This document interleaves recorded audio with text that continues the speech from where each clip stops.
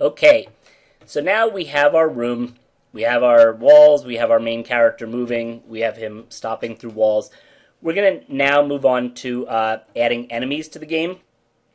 And the enemies are going to move automatically compared to our player who we control.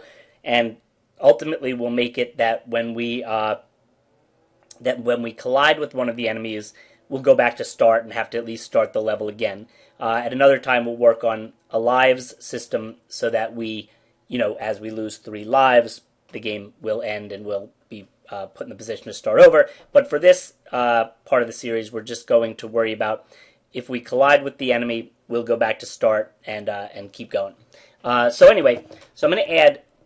Uh, I'm going to actually add two different enemies um, or better yet, I'm just going to add one. You're going to add the other one later. And I'm going to call them guards. Uh, we're in a prison situation, so we're going to have a couple of guards. And here's guard one. He's kind of scary looking. Um, and uh, we're going to add an object for him. And that's going to be OBJ guard uh, guard one. And actually, I'm sorry, I'm going to make this one called OBJ guard H for horizontal. And we're going to use that sprite.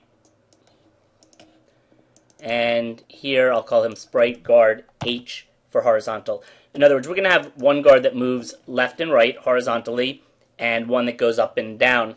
Uh, the one, and then when they hit a wall, they'll they'll reverse their direction. So I'm going to program my guard now. And this brings us back to our now hopefully familiar area of where we add events and actions. And I am going to add an event that when the guard is created, in other words, when he's first shows up, you know, in any room, he's going to move um, in either, he's going to start by either moving left or right. That's what this means here. So he can either move one of those directions, not, not both. And I'm going to have him move just ever so slightly slower than us at a speed of 4. Okay, so right now he's set to move. We kind of can take for granted already that he's going to go right through a wall at this point. So for our guard, we need, and this should be a review, when he collides with a wall, something should happen. Now, there are these two options under move. This one is reverse horizontal direction. This one's reverse vertical direction. So he's going horizontal, so he's going to reverse horizontal direction. And let's uh, put a few of these in the room and give that a shot. So I'm going to have some of these guards. I'm going to put one, hmm, how about we put one here? Put, for now, we'll just put a couple in here. Uh, we'll put one down here. Put one here.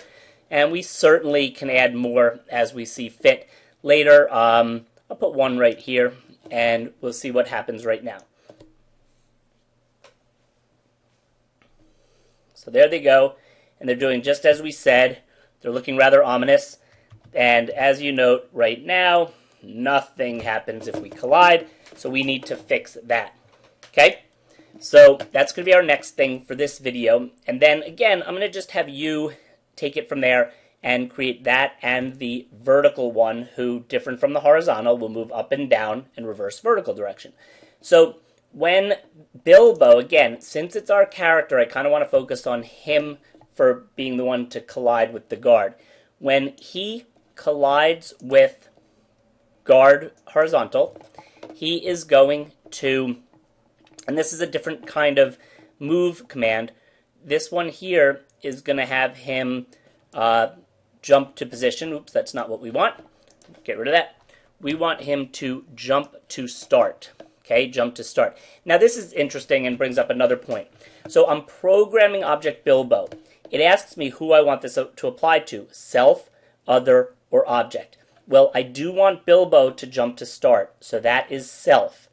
Um, just so you understand, other would be the one he's interacting with, an object would be any. So if I did object guard for object, every guard would move back. That's not usually what I want. In this case, I'm going to want self. And to take it a step further, um, I believe, and you know, depending on your game, it might be different. I believe the enemy should also move back to start because sometimes you get in a weird position where he's right where you are, and then he just keeps killing you. So if you both move to start, it's kind of like restarting the room, which we could have done also. So I'm going to also do jump to start, and it'll be other. Now, with what I just said too about the fact that it could have been jump, you know, a restart room, there are so many different ways to do everything we're going to do in Game Maker. And as you move on, um, you're going to hopefully expand your ideas and not do things just the way they're being taught to you in these tutorials, but you'll start to realize there are other ways to do things and that you're not reliant on this. So we're going to give this a shot, and that would be the end of this uh, lesson, if it works. So I'm moving around, and I hit an enemy. We both, I think we both went back to start, and we did. Okay, so this part is working pretty well, and there we go. So now, in the next lesson, uh, we'll go into the idea of what happens when we at least make it to the exit and go to the next room. So at that point, you'll be able to make uh, a game with multiple levels, and then we'll advance to other things later, like shooting and such. So uh, good luck with getting both your horizontal and vertical enemies uh, or guards in there, and I'll see you next time.